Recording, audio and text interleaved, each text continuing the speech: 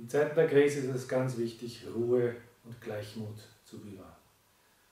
Wenn wir Europäer an Ruhe und Gleichmut denken, denken wir meistens an unseren Geist zu beruhigen. Und deswegen gibt es ja auch so viele Scharlatane da draußen, die uns versuchen, mit irgendwelchen Falschinformationen unseren Geist, unsere Angst zu beruhigen. Nein, es gibt kein chinesisches Kraut, das die Coronavirus heilen kann. Massenmeditation wird es auch nicht helfen und noch immer gibt es kein Medikament. In japanischen Kampfkünsten spricht man von Gleichmut und von Ruhe, von Haltung. Dabei geht es um die Körperhaltung und um die Geisteshaltung. Nach 30 Jahren täglichen Trainings hat sich für mich eine unumstößliche Wahrheit herauskristallisiert. Nämlich Körper spricht Seele, Seele spricht Körper.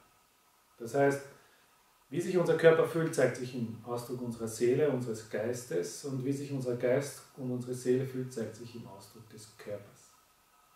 Wir reden also heute über Haltung. Haltung wird im Japanischen übersetzt mit Regisaho. Regisaho heißt übersetzt Etikett, meint aber nicht das richtige Benehmen, sondern stellt den Anfang jeder alten traditionellen Kampfkunst dar. Die richtige Haltung. Dabei geht es um Geisteshaltung und um Körperhaltung. Wenn wir Geisteshaltung nicht trainieren können, weil wir nicht wissen, wie das geht, dann wird das trainiert über Körperhaltung. Denn, wir haben vorher gehört, wenn der Körper aufrecht ist, ist auch der Geist aufrecht. Sie alle kennen ganz sicher den Zustand, im Büro zu sitzen oder jetzt in der Krise als Couch Potato vom Fernseher. Wenn Sie den ganzen Tag liegen, werden Sie immer müder. Sie wundern sich, warum Sie in der Früh aufstehen und nicht fit sind, weil Ihre Haltung Sie zum Schlafen zwingt. Aufrechte Haltung, aufrechtes Sitzen zwingt zur Konzentration. Deswegen gibt es das Zen, das nach 1500 Jahren Forschung nach Japan gekommen ist und heute fälschlicherweise als Meditation verstanden wird. Wie überhaupt. Meine Kampfkunst ist nachweislich 800 Jahre alt, aber natürlich hat es davor noch unzählige andere Kampfkünste gegeben, die leider Gottes heute schon ausgestorben sind. Kampfkünste aus Japan kommen prinzipiell aus China. Und in China gibt es sie schon mehr als 3000 Jahre. In einem Zeitalter vor Facebook, Instagram und Internet, sprich in einem Zeitalter ohne Ablenkung, konnten die Meister der Kampfkünste ihre, ihr Augenmerk ganz in die Kunst vertiefen und fanden daher Übungen heraus, die unsere Geisteshaltung und Körperhaltung schulen.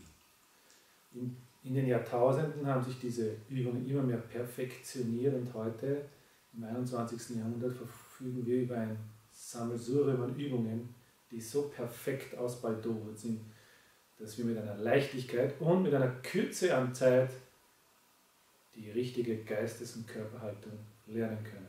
Denn das ist der Anfang. Der Anfang ist Haltung.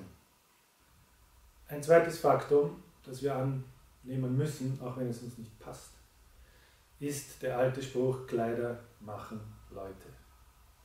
Wir können nicht im Anzug Sport machen, wir können nicht im Sport in einem Business-Meeting sitzen. Ein Koch sollte in der Kochschürze und mit einem Kochhut kochen und jemand, der Kampfkünste trainiert, sollte das richtige Gewand dazu anziehen.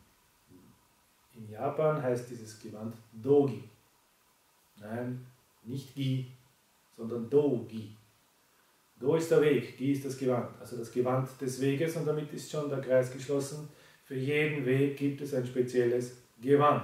Also bevor wir weitermachen, müssen wir uns richtig anziehen. Beginnen wir also mit unserer Übung Haltung. Meine Kampfkunst ist nachweislich 800 Jahre alt, aber selbstverständlich gab es vorher in Japan noch unzählige Kampfkünste, die leider ausgestorben Kampfkünste wurden nach Japan importiert aus China und dort wurden sie schon vor 3000 Jahren praktiziert. In einer Zeit ohne Ablenkung hatten die Meister ausreichend Zeit, sich ganz in ihre Übung zu vertiefen und fanden daher Übungen, die uns schneller zum Ziel bringen sollen. Heute geht es um die Übung des richtigen Stehens. Was ist das allererste, das ein Baby lernt, wenn es auf die Welt kommt? Richtig, atmen. Den Klaps auf den Hintern füllen sich die Lungen. Unser erster tiefer Atemzug, unser erster Schrei. Wir sind im Leben angekommen. Danach benutzen wir unseren müden Körper, alle unsere Muskeln, zur Nahrungsaufnahme. Irgendwann sind wir so stark, dass wir beginnen zu krabbeln. Und aus einem bis heute nicht ganz erfindlichen Grund wollen wir uns aufstellen. Wir stehen auf, fallen hin. Wir stehen auf, fallen hin. Alle wollen aufstehen, keiner will hinfallen heute. Dabei gehört das Stehen und das Fallen zusammen. Yin Yang. Das Leben besteht auf Stehen und aus Hinfallen. Ein Mensch, der aufrecht steht, ist ein Mensch, der aufrecht denkt. Ein Mensch, der aufrecht denkt, ist ein Mensch, der aufrecht spricht. Ein Mensch, der aufrecht spricht, ist ein Mensch, der aufrecht handelt. Konfuzius. Also, wie stehen wir richtig? Zwischen unseren Fersen den Hühnerplatz. Die großen Zähne, die zeigen auf 10 und auf 2 Uhr. Wir haben den Nabel angehoben, wir haben die Schulter nach hinten gerollt, das Kinn leicht nachgezogen. Wir gehen locker in die Knie, die Knie sind immer genau über den Zehen und wir stellen uns die Frage, auf wie vielen Punkten steht der Mensch?